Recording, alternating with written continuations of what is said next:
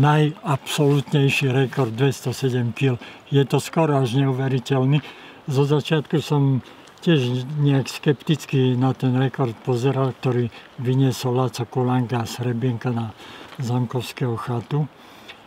Ale keď som ho videl, že mal na chrbte 240 kg na svojej 50 tak potom som nemal dôvod tomu neveriť, lebo ozaj videl som na vlastné oči, že mal 200, 240 kg od Encianu smerom na, na skalnatú chatu, že to doniesol.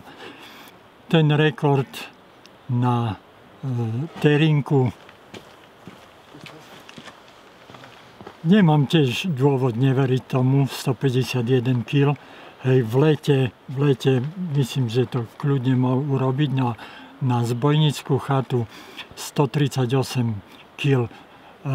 Tam držal rekord môj brat Jožo 137 kg, keď vyniesol tam pec hore na zbojničku. Už raz niesol 91 kg a to som bol pritom. Už vtedy som si hovoril, tak toto je absolútny rekord. Už nikto viac nemôže viacej vyniesť, ak je 91 kg. A potom 91 kg na terinku bolo pre mňa normálne vyniesť.